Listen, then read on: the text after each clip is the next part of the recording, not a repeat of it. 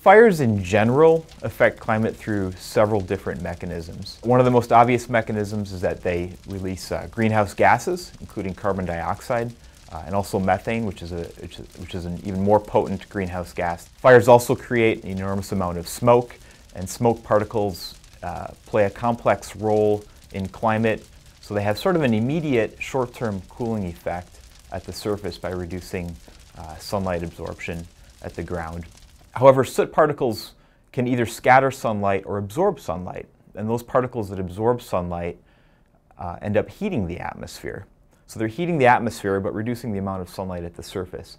And ultimately, that extra warmth in the atmosphere from the soot-induced heating can ultimately uh, create a warming effect on climate. And then a third, sort of less obvious way through which they influence climate is that uh, they alter the surface reflectance.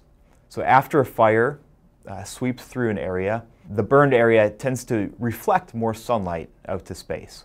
That's especially important in areas that receive snowfall because the snowfall will tend to blanket a burned area um, much more effectively than it will blanket a, uh, a mature forest. And as a result, the snowfall ends up causing the surface to be much more reflective in a burned area than it would in a, uh, in a non-burned area.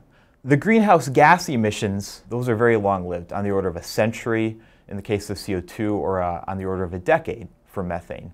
The aerosol effects that I described are very short-lived. And by aerosols, I'm talking about the soot aerosols from the smoke. Those particles tend to uh, come out of the atmosphere very quickly within about one week. And then the change in surface reflectance, that will last as long as it takes for the forest to regrow. And so that can be uh, anywhere from typically about 50 to up to 100 years, depending on the environment. Whether the net effect of, of fire is positive or negative on climate, whether it has a net warming or cooling effect, uh, depends on a variety of factors, uh, and especially where and when the fire occurs. And so fires that occur at, at higher latitudes, up in the boreal forest region, are more likely to induce a cooling effect on climate, surprisingly. Uh, and that's because of uh, the effect that snow cover has on the burned area uh, after the fire compared with the, the, effect that snow has on the, uh, on the forest area before the fire. Tropical fires are more likely to have uh, a long-term warming effect because of their CO2 emissions.